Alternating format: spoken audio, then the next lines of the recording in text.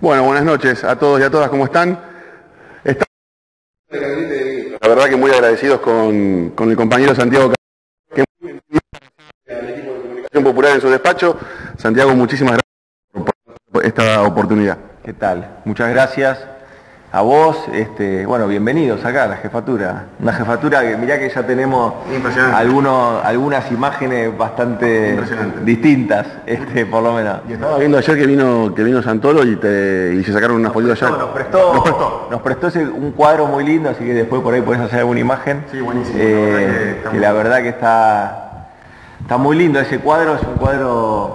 Eh, bueno, nos prestó este artista que, grafica mucho de, nuestra historia, de la historia del peronismo, bueno, una historia muy cercana también a, nuestra identidad política o mi identidad política y, mi identidad como militante político. Yo me, formé en el peronismo, milité en el peronismo de la provincia de Buenos Aires. Eh, y como siempre digo, nosotros somos militantes que circunstancialmente en algún momento por ahí te toca la posibilidad de ocupar un cargo o una función pública y la tenés que hacer con el mismo amor con el que militabas, con el, mismo amor con el que ibas a la básica, con las mismas convicciones, con los mismos valores, te cambia un poco la geografía, pero, pero la verdad lo que, lo que sentís, lo que le vas a poner, el, tiempo que le vas a poner y la dedicación que vas a tener es la misma. Santiago, vos sabés que les tocó, les tocó bailar con la más difícil. Pasó el tsunami, que fue, que fue Macri, y aparece la pandemia. ¿Cuánto influyó la pandemia en el plan original que tenía el gobierno, tanto en lo social, en lo económico y en lo político? ¿Cuánto influyó? Bueno, mucho, claramente. A ver, nosotros teníamos pensado eh, un gobierno que iba a tener que reestructurar una deuda que era irresponsable, una deuda impagable, que había tomado el macrismo y que y que incluso los vencimientos los había pateado, así que era una deuda que ya estaba defolteada, digamos, virtualmente, si querés, pongámosle todos los, este, los adjetivos que quieras, pero en realidad esa deuda era una deuda que se tenía que pagar en unos términos y se terminó reperfilando. Entonces lo tiraron, nos lo tiraron a nosotros en realidad. El reperfilamiento fue se la pateo al que viene. Eh, eso sumado a las restricciones fiscales propias del gobierno de Macri que había hecho, que, básicamente había migrado muchos recursos y capacidad tributaria del Estado Nacional, había migrado de, los sectores populares o de los sectores medios, pymes, productivos, la había concentrado en pocas manos. Eso es lo que había sucedido. Y esto fue así. Nosotros lo, lo planteábamos como una denuncia militante, pero cuando uno llegó a cuando uno tuvo la posibilidad de hacerse bien de los números de lo que había sucedido, había claramente a partir del 2017 el, macrismo hace reformas tributarias y, pequeñas cuestiones que parecen muy técnicas, pero todo eso tuvo siempre una dirección, que fue sacar de un lado y poner en el otro. Sacar de los sectores medios, productivos, y ponerlos en, en, los sectores de la especulación, de la renta, de la, timba. de la timba financiera. Entonces, ¿qué hizo? Que las tasas empiecen a crecer de una forma exorbitante. Y entonces que, que, la Argentina productiva y generadora de empleo quede en un segundo plano y se imponga la Argentina de la especulación financiera. Y esto fue todo así, fue todo así. Donde, donde mirás, la gestión del macrismo fue así. Ahora, cuando entraste a la jefatura de gabinete, te encontraste con esto, es un escándalo. Cuando, me, cuando llegué a la jefatura de gabinete empezamos obviamente a gestionar con esta idea de que íbamos a tener estas restricciones, sumado a las restricciones socioeconómicas, que yo no te tengo que explicar a vos ni a los compañeros y compañeras, sino que esto es bastante sensible y palpable y, se entendía en ese momento y se entiende el día de hoy. Una pobreza que crecía, una desocupación que crecía, empresas, pymes, comercios que cerraban, empresas hasta incluso internacionales que se iban del país. Por eso yo suelo decir que hasta incluso el gobierno de Macri ni siquiera favoreció a las grandes empresas.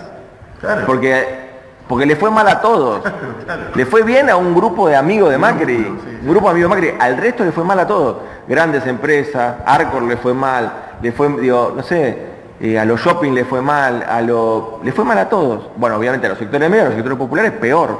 Pero en realidad le fue mal a todos. No fue un gobierno que favoreció un espíritu empresario y de última, bueno, vos podés tener algún alguna discusión ética o moral y decir, me parece que hay que ser más distributivo.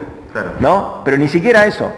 O sea, le fue mal a todos. Sí, no pudo, Mauricio Macri Santiago no pudo mostrar una política de Estado a favor de las grandes mayorías, esa es la realidad. Ni de las grandes mayorías, y vuelvo a insistir, ni siquiera de que vos decís, bueno, a estas empresas, grandes empresas, les fue no, tampoco les fue bien. Tampoco les fue bien, digamos las cosas como son. Entonces, lo que nosotros teníamos era ese cuadro de situación, ante ese cuadro de situación, eh, empezamos nosotros con una ley que es fundamental, que es la ley de solidaridad social y reactivación productiva. Es una ley que nosotros logramos votar en diciembre. Eso nos permitió empezar a hacer una política distributiva distinta. Entonces dimos bonos a los jubilados, bonos en diciembre, bonos en enero, eh, medicamentos gratuitos, la tarjeta alimentar, una política pública para un millón y medio de familias. Impresionante el laburo de Daniel Arroyo, impresionante. Impresionante, en muy poco tiempo lo aplicamos. Es decir, empezamos a, de a poco a tener esta política redistributiva y empezamos, una cosa no menor, a bajar las tasas de interés.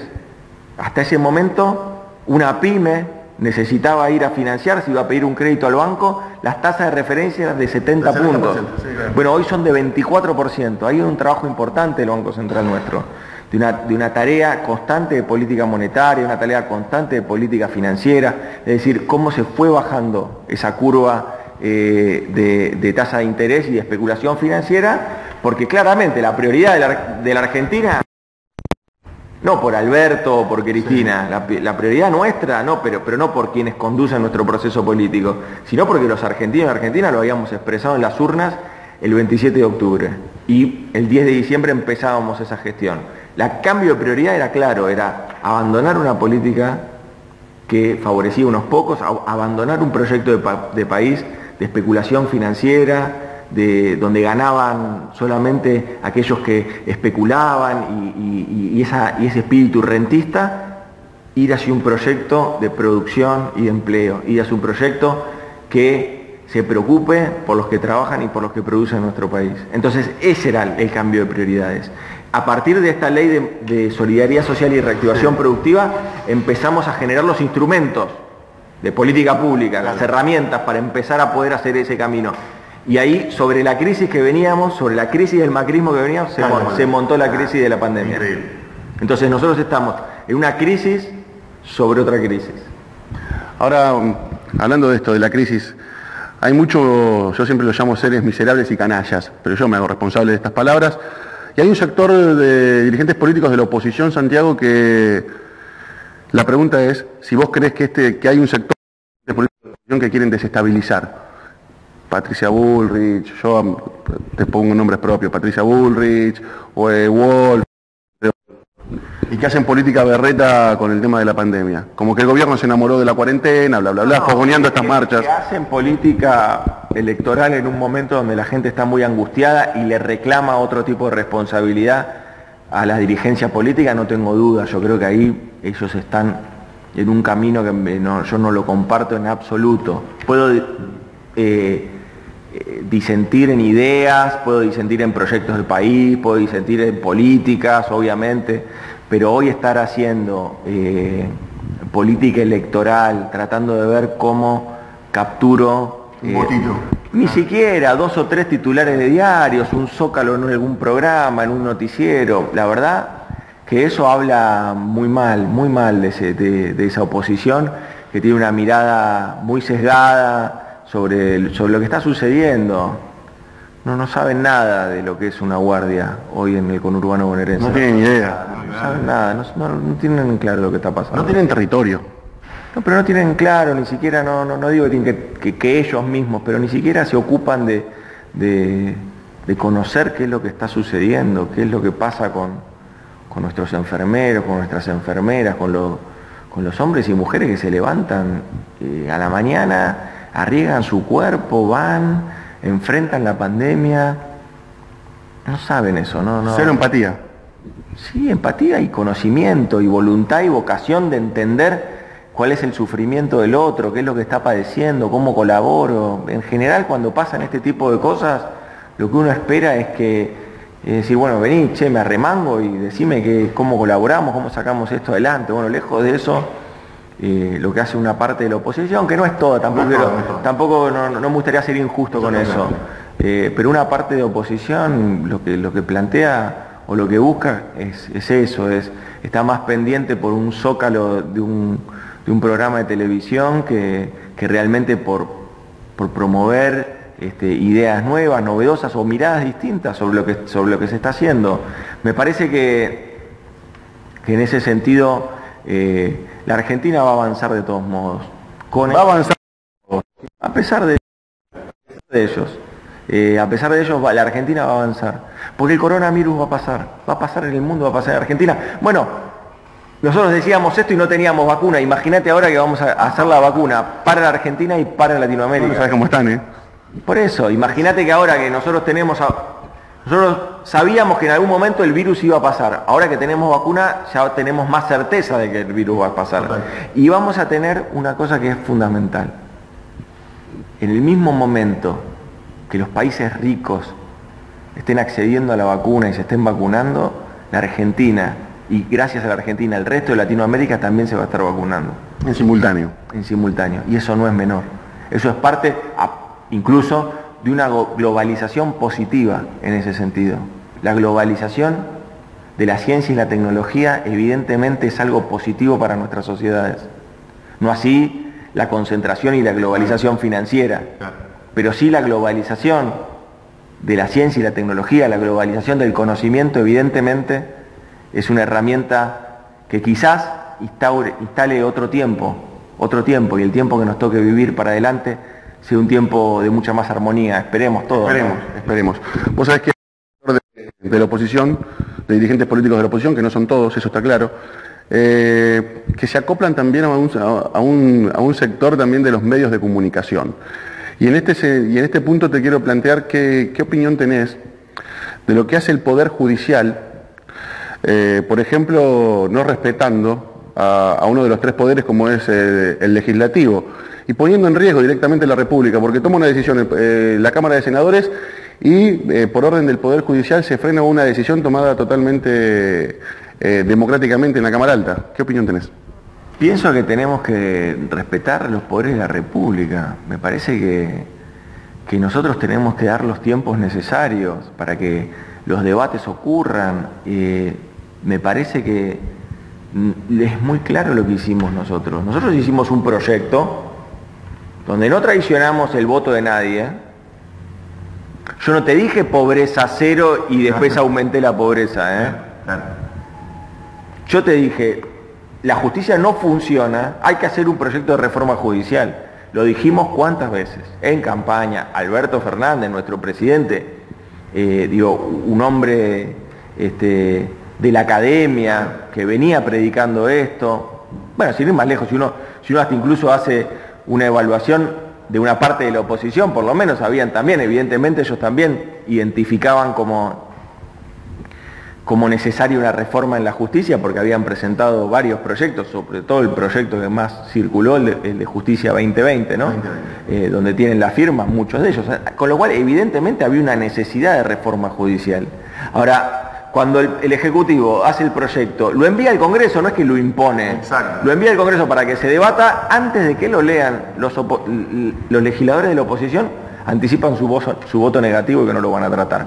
Eso no le hace bien a la democracia, no le hace bien a la República, en el sentido de, che, acá hay un poder, poder ejecutivo, le manda al poder legislativo un proyecto, que se debata, que se debata. Si hay opiniones eh, para nutrir ese proyecto, bueno, evidentemente dan las modificaciones. Ha sucedido en la Argentina, nosotros podemos dar testimonio de que muchas veces la oposición ha perfeccionado proyectos del Ejecutivo y proyectos del oficialismo. Muchas veces ha pasado. No hay que no, no, eso no es algo este, atípico en nuestra democracia. Todo lo contrario, siempre ha sucedido. Entonces, el proyecto eh, del Ejecutivo va al Legislativo, bueno, y una vez que el Legislativo termina de perfeccionar ese proyecto y lo promulga, bueno, tendrá el tiempo los otros poderes de la República, tendrá pues, tiempo incluso el Poder Judicial para omitir su opinión. Pero me parece que obturar el debate público no es democrático. No es democrático.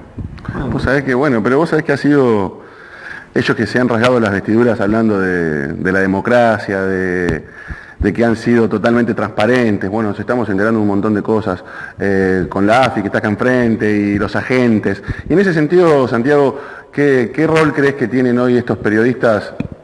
No le quiero poner un nombre propio, pero ya sabemos quiénes son, que, que están tirando palos, que están poniendo palos en la rueda. Eh, y yo creo que, que en un punto no hemos sido inteligentes, no hemos sido inteligentes, porque salimos con la reforma judicial, la mandamos, es necesaria, pero creo que no hemos sabido eh, informarle a la gente, al ciudadano de a pie, de, a Doña Rosa, de qué se trata con palabras fáciles.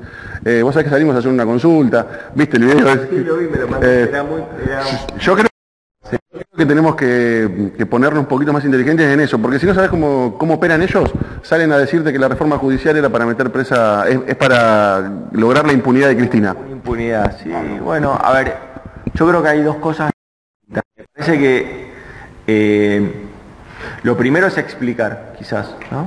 Eh, cómo, cómo una reforma judicial, bueno, evidentemente también en tu video vos hacías alguna pregunta y era, ¿te parece que funciona bien la justicia? Y la mayoría te decía que no. La mayoría. ¿no? Después, te, después preguntabas sobre la reforma y no había mucho dato y mucha información. Pero bueno, justamente, a ver, esta reforma judicial lo que, lo que propone es generar más herramientas de accesibilidad a la justicia. Es decir, como dijiste vos, doña Rosa, o, como, o, que cualquier vecino y vecina tenga posibilidad de acceder a la justicia con mayor velocidad a partir de que va a haber mayor, mayor cantidad de juzgados y que muchas veces, tantas veces lo hemos escuchado en los medios de comunicación, de que los juzgados no dan más, de que los expedientes están tapados de expediente, entonces que por eso se demoran las causas, justamente es esto. Este es un proyecto que lo que hace es ampliar la cantidad de juzgados. Entonces vamos a tener mayor cantidad de profesionales, juristas, que puedan dar respuesta Con más celeridad, claro. con más velocidad a las necesidades de, un- de una población, de una sociedad que precisa una justicia independiente, pero también rápida, una justicia que, que tome decisiones, que tome decisiones eh, no apresuradamente por los tiempos de la política, que tome, que tome decisiones en tiempo y forma, estudiando y siendo completamente independiente de la autoridad política, sea quien sea esa autoridad política, sea quien sea. Cuando la justicia, el presidente siempre plantea esto, cuando la justicia persigue los ritmos de la política, entonces deja de ser justa. Y eso es lo que nosotros tenemos que tener presente. Nosotros necesitamos mayor que la justicia sea más robusta, sea más independiente, constituya más autonomía y no persiga y no se persiga en los tribunales eh, la vocación de dirimir cuestiones electorales o políticas, sino que persigan solamente justicia. Eso es lo que nosotros necesitamos. Ahora, claro que en el camino, bueno, hay una disputa de sentido en todo momento. Eh, vos, Ezequiel, el medio de comunicación en el que vos llevas adelante tu tarea, con, compañeros y con compañeras que también te acompañan, eh, están, están todos disputando ese sentido. Y hoy, gracias a las redes sociales, gracias a otro tipo de mecanismos, hay otra forma de penetrar y de perforar en esa disputa de sentido, pero es una disputa de sentido permanente, esto no, no, no, no existe eh, que en algún momento se gane y esto termine, eso no es así. Acá hay que disputar sentido todo el tiempo. ¿Y qué es esa disputa de sentido? ¿Pelearse con el otro? No, no, no. Pero sí plantear con claridad cuáles son los, los lineamientos de una idea, de, cuáles son los valores que esa idea expresa, cuáles son, cuál es la ética que está atrás de eso, con, con la honestidad con la que los medios de comunicación este, alternativos están abordando últimamente la, agenda pública, me parece que eso es muy necesario. Con la gente picando. La voy a dejar para el último, igual ya creo que estamos ya casi cerrando, pero sabes que hay muchos compañeros, compañeras, compañeres, me cuesta, me cuesta, me cuesta. Esa generación. Eh, que se preguntan si, si Alberto, si tendrá por la cabeza Alberto o Santiago Cafiero eh, la ley de medios, si le correrá por la cabeza, si se le pasará por la cabeza. Recuerdo que ahí cuando, cuando asumió Mauricio Macri lo primero que hizo fue detonar la ley de medios, ir por el AFCA, etcétera, lo que sabemos todos. Eh, ¿Crees que en algún momento se tiene que volver a tratar? No necesitamos una ley de medios. No la necesitamos. Necesitamos rebeldía. A ver cómo sería eso, Santi. Necesitamos rebeldía. Lo que haces vos, que se multiplique. Necesitamos otras cosas. No necesitamos un marco normativo. Es mentira que necesitamos un marco normativo. Podemos dar batalla. Seguro. Hoy por hoy se está modificando todo eso. Creo que la pandemia también va a modificar un montón de conductas, como usar el barbijo, como tomar distancia, como tener eh, alcohol en gel. Bueno, también obviamente ha modificado conductas. Esas conductas, eh, conductas de consumo incluso y conductas de cómo me informo, cómo elijo informarme. Tenemos que ser más rebeldes. No necesitamos un marco normativo para dar esa pelea. No es verdad que necesitamos un marco normativo. Lo que necesitamos es decisión, necesitamos convicción.